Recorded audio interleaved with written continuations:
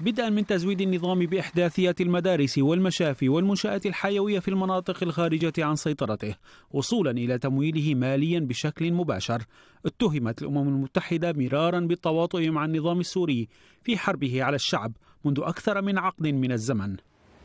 صحيفة تاغ شبيغل الألمانية تنشر تقريرا يكشف الطرق والآليات التي استطاع من خلالها قادة ميليشيات ورجال أعمال تابعون للنظام السوري من بينهم فادي صقر وسامر فوز ونزار الأسعد الخاضعون للعقوبات أن يستفيدوا من المساعدات الأممية المقدمة لسوريا.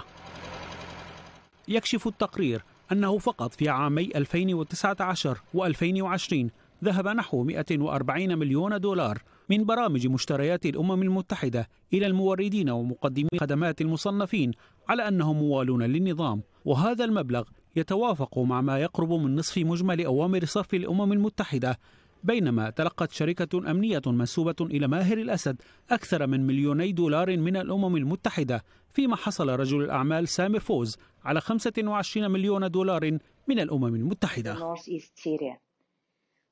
رغم رائحة الفساد التي طغت مؤخرا في عمل الأمم المتحدة بسوريا إلا أن الصحيفة الألمانية تقول إنه لا فائدة من جميع آليات الرقابة إذا كان كبار مسؤولي الأمم المتحدة يحتفظون بعلاقات شخصية وثيقة مع النظام. فعلى سبيل المثال أطلق موظفو منظمة الصحة العالمية في دمشق ناقوس الخطر لأن رئيستهم أكجمال ماكتيموفا قيل أنها أفسدت العديد من أتباع الأسد بهدايا باهظة الثمن.